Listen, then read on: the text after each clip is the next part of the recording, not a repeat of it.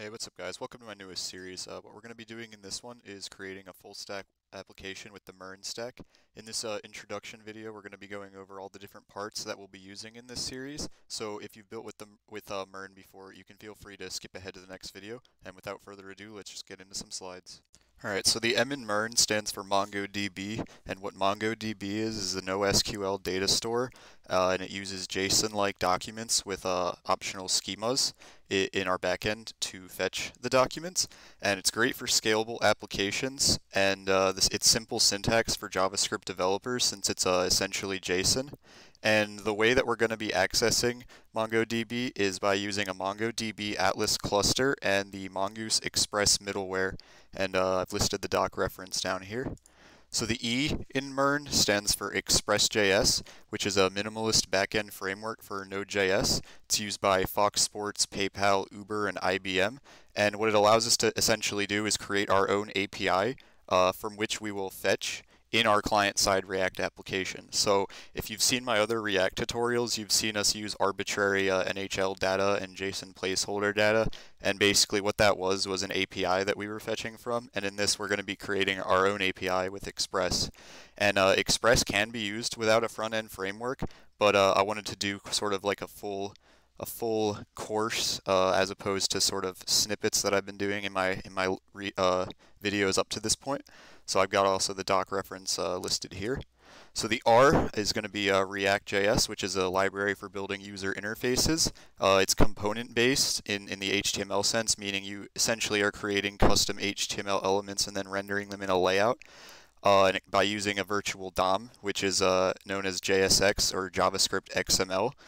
And this is basically the, the React um, syntax that we'll be seeing later as we go into this. Uh, so can this also, much like uh, Express can be used without a front-end framework, this can be used without a back-end framework, but uh, combining them the two together just gives you more uh, more sort of freedom as an administrator.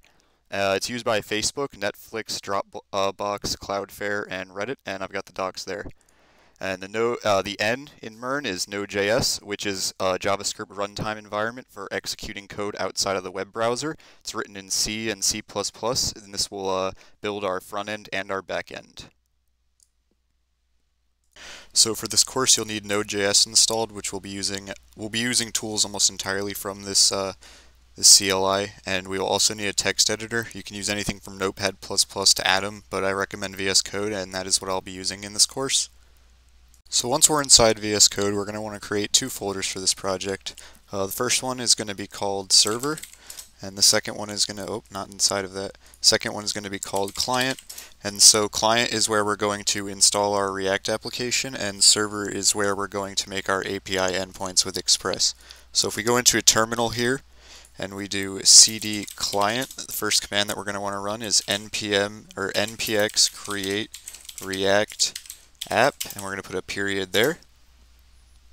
Okay, so once your React is done installing, we're going to go back out of the client folder, and we're going to cd into the server folder. And what we're going to do in here is npm init dash y, and that's going to default yes on all the questions.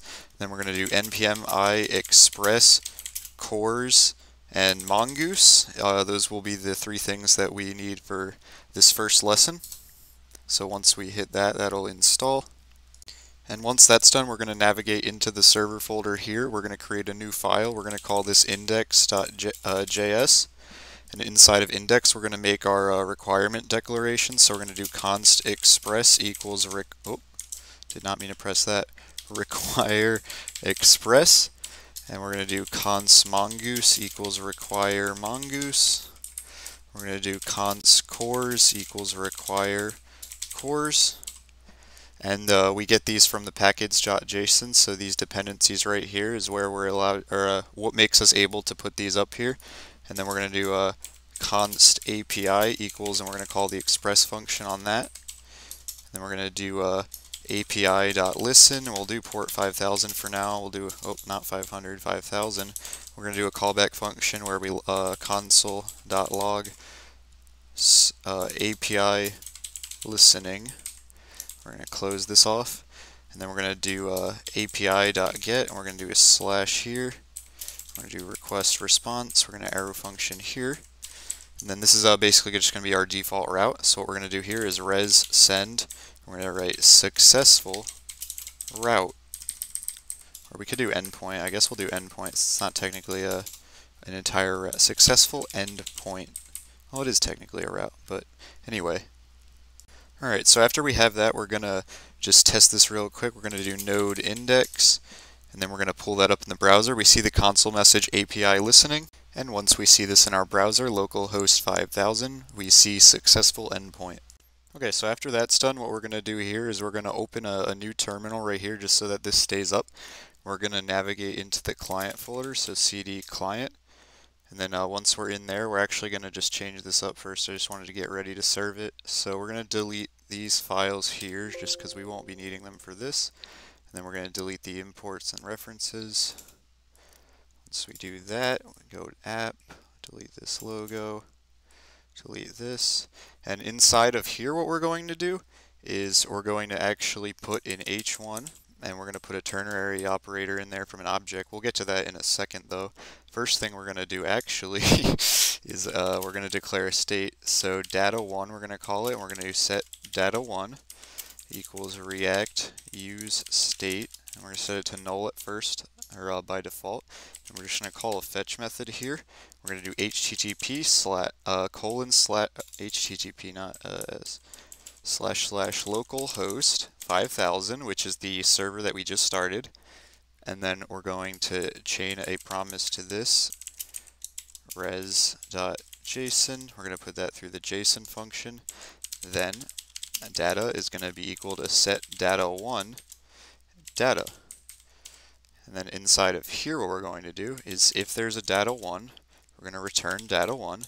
Otherwise we're going to return loading dot dot dot.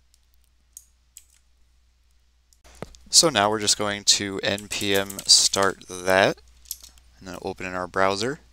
And in our browser, we're going to see an error, and this is because uh, of the, we didn't Im implement CORS into our, and we'll see that actually here, blocked by the CORS policy, and that's the reason that we actually installed, uh, oops, wrong index.